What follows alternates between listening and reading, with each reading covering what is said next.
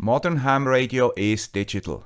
In this video I will show you the architecture of a modern network consisting of the state-of-the-art technology used by ham radio operators. It should act as a teaser and an overview of our possibilities. All network parts are wireless, independent of the internet and primarily TCP IP based. A goal should be to make them also independent of the power grid. The backbone is extremely high speed compared with older technologies like packet radio. It can include satellite communication as well as smaller devices like DMR radios and even LoRa boards. Parts of this network can be used standalone for your projects, and most of the technologies shown are available and used right now, just not integrated into one network. This is what we try to build here in Switzerland. Hello wireless enthusiasts. Here is the channel with a strange Swiss distortion in the signal with a new video around wireless and other exciting stuff. Make sure you subscribe if you do not want to miss the following emissions. In addition to giving an overview of technologies, it is an indicator of future videos on this channel. In addition, it should be the foundation for an integration project for documenting and improving currently available technology towards interoperability in one network. Let's start with the architecture. The network consists of a backbone based on permanently installed fast TCP IP links. Typically, these links go from hilltop to hilltop and are based on Hamnet. Its capacity is many megabits per second. We use commercially available 5.8 GHz Wi-Fi devices like this one to get high speed. Such devices have become affordable and our channels are much less crowded because as ham radio operators we can use frequencies outside the general available ISM band. We also are allowed to use higher powered devices. So such links can go up to 70 kilometers and more. We could also use 2.4 and 3.3 GHz links. On 2.4 GHz, channels are often noisy because we share most of them with the general public. 3.3 GHz is no longer allowed in some countries and the equipment is costly because it is not built in big series. So for new networks, 5.8 GHz is the right band. Next, we must organize access to these hilltop stations from the valleys and towns. Here we can use several technologies. The fastest is AREDN. It uses the same 5.8 GHz technology and the same devices as Hamnet. So frequencies have to be coordinated between the two networks. But why do we need another technology for the last mile? Hamnet is a standard TCP IP network with pre-allocated addresses and routes. Changes have to be implemented by network managers. AREDN is a mesh network that automatically does the network management. If you start a new node, it automatically connects to all other nodes and also can be reached by all. And every node automatically relays messages from and to other nodes. Excellent for experimenting or for emergency comms, where speed and flexibility are essential. This flexibility is paid for by less performance, mainly if more than 40 or 50 nodes participate in the same network. The reason is that all nodes occupy the same channel and the network needs additional management traffic. Examples of big AREDN networks exist in California. And in Germany, for example, they deploy pop-up networks for disasters or emergency exercises. It is also possible to connect hilltops with AREDN if you use different frequencies for those links. Like Hamnet nodes, AREDN nodes provide RJ45 connectors for laptops, voice over IP telephones or IP cameras, and Wi-Fi access for smartphones. So this high performance network can be used by standard consumer devices. 5.8 GHz technology strictly needs a line of sight between nodes. What happens if we do not have a line of sight or want to use mobile stations? Then we have to use other technologies with lower frequencies and also with lower speeds.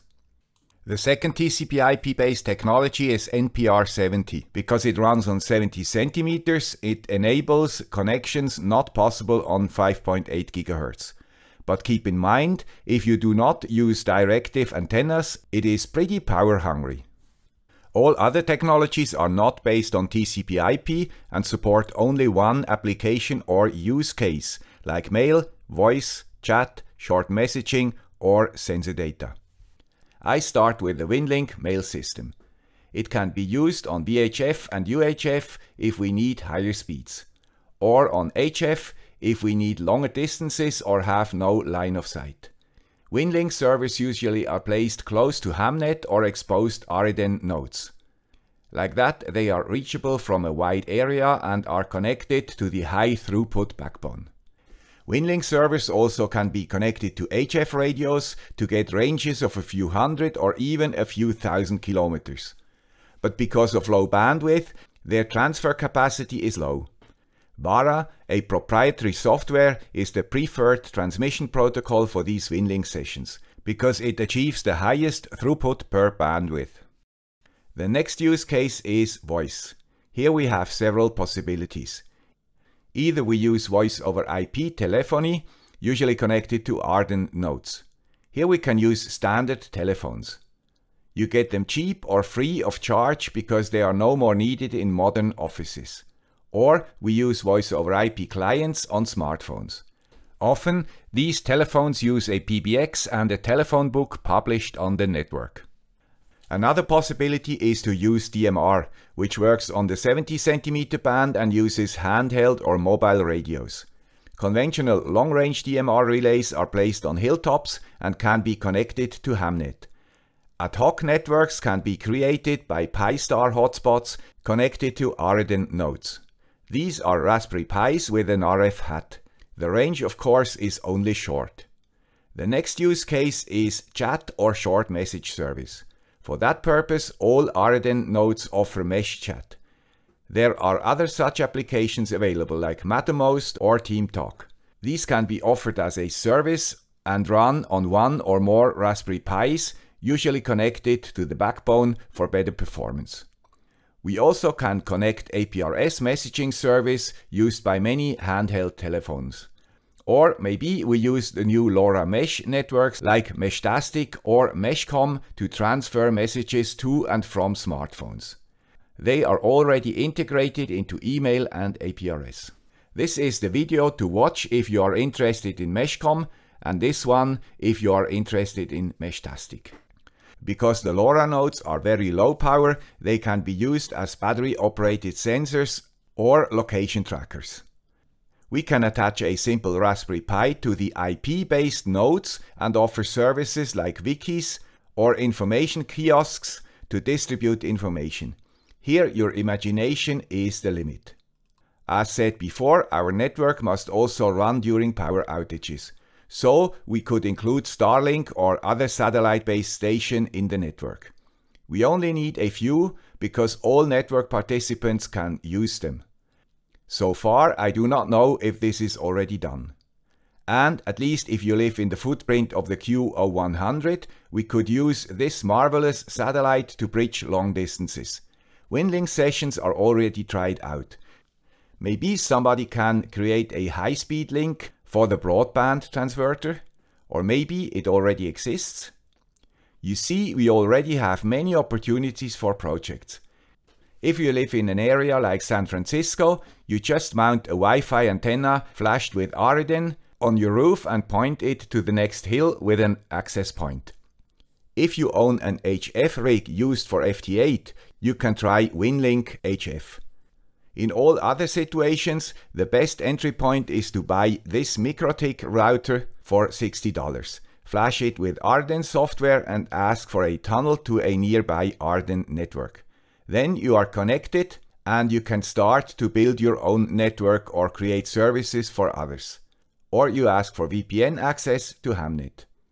Be aware that these tunnels and VPN connections still use standard internet and are not optimal for disasters. But they already create a lot of fun to play with and learn.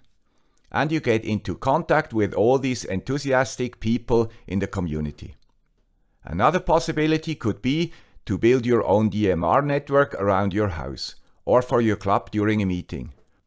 Or, as in our club, create LoRa mesh networks or build LoRa APRS trackers and deploy LoRa iGates close to your repeaters. Both are perfect projects for a Saturday club meeting. Or, if you are a programmer, you could help to create a new project called thehamstack.com. This should become a repository for Raspberry-based services useful for the digital ham. It will be Docker-based and, like IoT Stack, its deployment will be simple also for a Raspberry newbie. The ham stack will offer a choice of services in this field. All ticked software packets are then automatically installed.